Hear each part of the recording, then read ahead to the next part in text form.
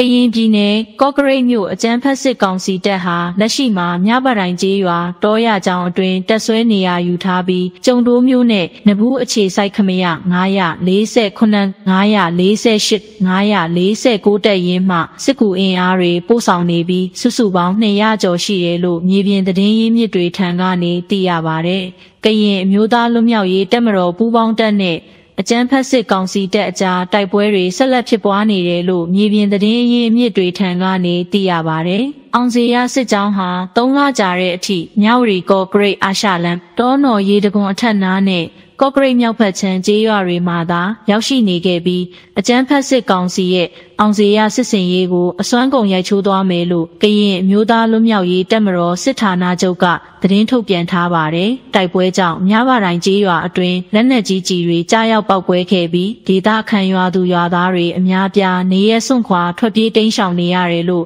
မြဝတိုင်းရွာသားတွေရဲ့ပြောပြချက်အရသိရပါတယ်။ဒါအပြင် အကြမ်းဖက်စစ်ကောင်စီတပ်ရဲ့လက်နက်ကြီးအပါအဝင်ဒရုန်းနဲ့ဘုံကျဲချပစ်ခတ်တိုက်ခိုက်မှုတွေကြောင့်အခုရက်ပိုင်းအတွင်းကော့ကရိတ်မြို့နယ်တောင်ပိုင်းဒေသတွေကကျေးရွာနေအရက်သားပြည်သူအချို့ထိခိုက်ဒဏ်ရာရရှိခဲ့ပါတယ်။အခုရက်ပိုင်းအတွင်းကော့ကရိတ်မြို့မြောက်ဘက်ကျေးရွာတွေနဲ့အာရှလန်ဟောင်းဘက်မှာစစ်ရေးလှုပ်ရှားနေတဲ့အကြမ်းဖက်စစ်ကောင်စီတပ်စစ်ကြောင်းနဲ့ကရင်အမျိုးသားလွတ်မြောက်ရေးတပ်မတော်ပူးပေါင်းတပ်တို့အကြားစစ်ရေးပရိပခဆက်လက်တင်းမာနေတာ အဲ့ဒီတိုက်ပွဲတွေဟာဇူလိုင်17ရက်နေ့မနက်ပိုင်းကစပြီးကော့ဂရိတ်မြို့မြောက်ပိုင်းမြပရိုင်ကျေးရွာအုပ်စုမှာနှစ်ဖက်ထိခိုက်ဒေဆုံးမှုအသေးစိတ်မသိရသေးပေမဲ့အကြမ်းဖက်စစ်ကောင်စီဘက်ကအင်အားထပ်မံဖြည့်တင်းနေတာပြီးခဲ့တဲ့ဧပြီလကစပြီးအကြမ်းဖက်စစ်ကောင်စီရဲ့နိုင်ငံတော်အဆင့်အောင်စေရစစ်စင်ရေးမှအကြမ်းဖက်စစ်ကောင်စီတပ်စစ်ကြောင်းတွေဟာကော့ဂရိတ်မြောက်ပိုင်းဒေသဒေါနာတောင်ပေါ်လမ်းဟောင်းနဲ့ အာရှလမ်းမကြီးမှာစစ်ရေးလှုပ်ရှားလာခဲ့ရာကရင်မျိုးသားလွတ်မြောက်ရေးတပ်မတော်ပူးပေါင်းတပ်နဲ့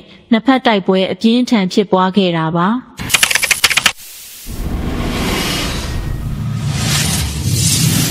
ကော့ဂရိတ်မြို့တောင်ပိုင်းရှိအန်ဖာကြီးအန်ဖလေးကော့ဂရိတ်မြို့အရှေ့ပိုင်းရှိရေလေကုန်းရွာများဘက်တွင်လည်းအကြမ်းဖက်ဗမာစစ်တပ်ကအတွဲလိုက်တုံးများပြစ်ခတ်တိုက်ခိုက်နေသလိုကော့ဂရိတ်မြို့မြောက်ပိုင်းရှိနဘူး မြမတိုင်ဘက်တွင်လည်းတော်လန်ရေးတပ်ပေါင်းစုနှင့်အကြမ်းဖက်ဗမာစစ်တပ်တို့နှစ်ဖက်ပစ်ခတ်မှုများဆက်လက်ဖြစ်ပွားနေကြောင်းဒေသခံများကပြောသည်ကရင်ပြည်နယ်ကော့ဂရိတ်မြို့နယ်ရှိကော့ဂရိတ်ကျေးနယ်ကျုံတိုးကျေးနယ်နှင့်ကော့ဘိန်းကျေးနယ်အတွင်းရှိကျေးရွာများဘက်ကိုဇူလိုင်လ10ရက်မှယနေ့အထိအကြမ်းဖက်ဗမာစစ်ကောင်စီတပ်ကစစ်တင်မောလက်နက်ကြီးအတွဲလိုက်တုံးနှင့်ဒရုန်းပုံးသီးများဖြင့်တိုက်ခိုက်မှုလှုပ်ဆောင်နေကြောင်းဒေသခံများကပြောသည် ယခုရက်ပိုင်းတွင် အကြမ်းဖက်ဗမာစစ်ကောင်စီတပ်အောင်စီရစစ်စင်ရေးစစ်ကြောင်းကော့ဂရိတ်ကျုံတိုစကခ10နှစ်ကိုကဲမှုလက်အောက်ခံတပ်များနှင့်မြဝတီခြေလင်တပ်ရင်းခလာရနှင့်ရ85နှစ်ကရင်မျိုးသားလွတ်မြောက်ရေးတပ်မတော်မဟာမိတ်ပူးပေါင်းပြည်သူ့ကာကွယ်ရေးတပ်ဖွဲ့တို့ကြားတိုက်ပွဲများနေ့စဉ်ဖြစ်ပွားနေဆဲဖြစ်ကြောင်းသိရှိရ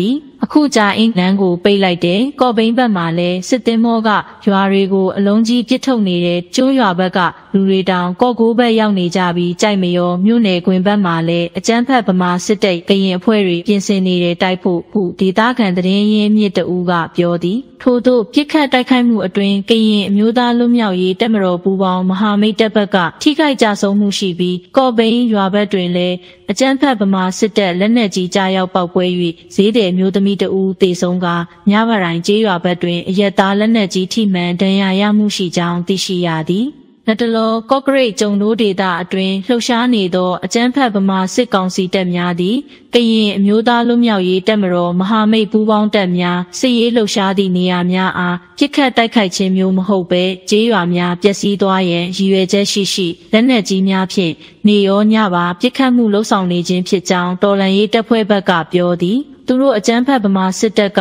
စစ်ကြောင်းဝင်ပြီးနေမြေရှင်းတာမျိုးမဟုတ်ဘူးရွာတွေပျက်စီးအောင်ရွာသားတေအောင်ထိခိုက်အောင်လုပ်နေတာမျိုးအဲ့လိုလုပ်ရင်ရွာသားကတော်လန်ရေးအဖွဲ့တွေကိုသူတို့ကြောင့်ရွာပြက်တယ်လူသေးတယ်ထင်မြင်မှားအောင်လုပ်နေတယ်တကယ်နှစ်ဖက်တိုက်ချင်ရင်နေရာတိတာပဲလေအခုကအဲ့လိုမဟုတ်ဘူးရွာတွေတဲကိုပဲအကျန်းဖက်ဗမာစစ်တပ်ကလက်နက်ကြီးအတွဲလိုက်ဒုံးတွေပြစ်ပစ်ချလာတယ်ပြောသည်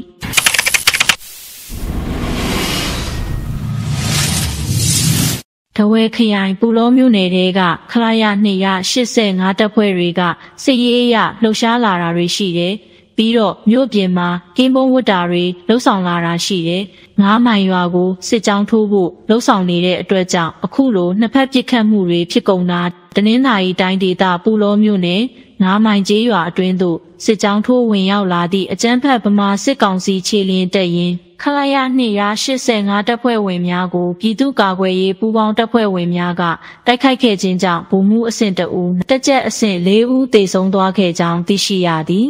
အဆိုပါနှစ်ဖက်တိုက်ပွဲအတွင်းအကြမ်းဖက်ဗမာစစ်ကောင်စီဘက်မှဗိုလ်မှူးတပ်ထွန်းအောင်တက်ကြက်ကြီးခင်မောင်သိန်းတက်ကြက်ခိုင်လင်းအောင်တက်ကြက်တင်ဆိုးနှင့်ဒုတက်ကြက်တန်းဦးမြင့်တေဆုံးခဲ့ပြီးစစ်တုံးပန်းဖမ်းဆီးရမိခဲ့ကြောင်းတော်လန်ရေးတပ်ဖွဲ့၏ထုတ်ထားချက်အရသိရသည် အင်အား90အကြမ်းဖက်ဗမာစစ်ကောင်စီစစ်ကြောင်းကိုကရင်အမျိုးသားကာကွယ်ရေးတပ်ဖွဲ့၏တပ်ရင်း9တပ်ခွဲ9ပြည်သူ့ကာကွယ်ရေးတပ်မတော်ဘူးလောမိခရိုင်အမှတ်တတပ်ရင်းနှင့်ပူလောဒေတာကာကွယ်ရေးတပ်စသည့်မဟာမိတ်ပူးပေါင်းတပ်များကပူးပေါင်းတိုက်ခိုက်ခဲ့ခြင်းဖြစ်ကြောင်းကရင်မျိုးသားအစည်းအရုံး KNU ဗိထားဝဲခရိုင်ဥက္ကဋ္ဌဘဒိုစောဖလော်ဆိုးဝင်းကပြောသည်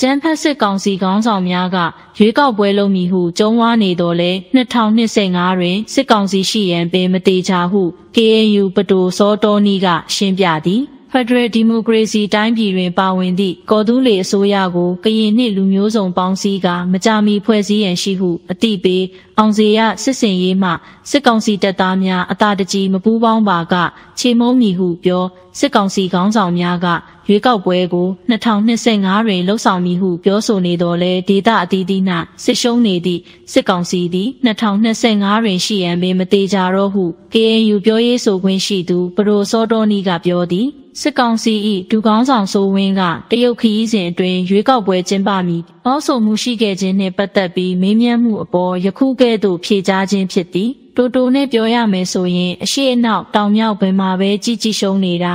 တဆုပ်သေးဆုပ်တဲ့အဖွဲ့ကြီးကအခုမှ2025ရောက်ရင်ရွေးကောက်ပွဲတွေဘာတွေထားလုပ်မယ်ဆိုတာပြောတာလဲအကြိမ်မနှဲတော့ဘူးအဲ့ဒီဟာလဲဘာမှလုပ်လို့မရပဲဟို၍ဒီရွေးနဲ့ရွှေရင်ရွှေရင်နဲ့နေမြေကကျင်းသက်ထက်ကျင်းလာတယ် အဲ့ဒီအပေါ်မှာကျွန်တော်မေးခွန်းကရှိတယ်2025မှာစစ်ကောင်စီကဘယ်နှရှိမလဲမသိဘူးကျွန်တော်ကတော့မသေးကြဘူးစစ်ကောင်စီရှိမယ်မရှိတော့ဘူးဆိုတာ2025ကိုကိုကိုပဲပြန်မေးကြည့်ပါမင်းတို့ဘယ်နှရှိနေမလဲဆိုတာဟု KNU ပြောရေးဆိုခွင့်ရှိသူဘဒိုစောတော်နီးကပြောကြားသည်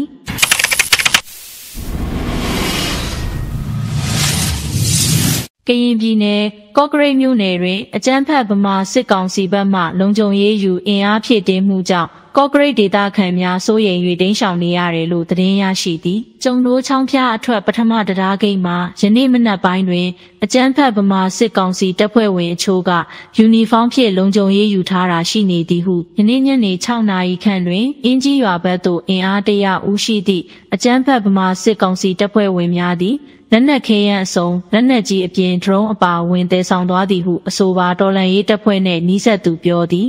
အကြမ်းဖက်ဗမာစစ်ကောင်စီတပ်ဖွဲ့ဝင်များသည့်အင်အားဖြည့်တင်းမှုနှင့်လမ်းလုံခြုံရေးပါချထားတယ်လို့သိရှိရပြီးအကြမ်းဖက်ဗမာစစ်ကောင်စီဘက်မှစစ်ရေးပြင်ဆင်ပြီးမြဝတီသို့ထိုးဖောက်နိုင်ရန်စ조사နေတယ်လို့သတင်းရင်းမြစ်ထံမှသိရှိရသည်။ အခုလဲတရားကျိုးလန်းဆောင်မှရင်ကွဲတောင်ဂိတ်ကြားတွင်အကြမ်းဖက်ဗမာစစ်ကောင်စီတပ်ဖွဲ့ဝင်များအင်အားဖြည့်တင်းပြီးသွာလာလှုပ်ရှားနေတယ်လို့အဆိုပါသတင်းရင်းမြစ်ကပြောသည်တော်လန်ရေးတပ်ဖွဲ့များနှင့်ထိတွေ့မှုဖြစ်ပါကရင်ကွဲတောင်ဘက်မှအကြမ်းဖက်ဗမာစစ်ကောင်စီတပ်ဖွဲ့ဝင်များအင်အားဖြည့်တင်းဖို့ရှိသည်ဟုတော်လန်ရေးတပ်ဖွဲ့နှင့်နှီးဆက်သူထံမှသိရှိရသည်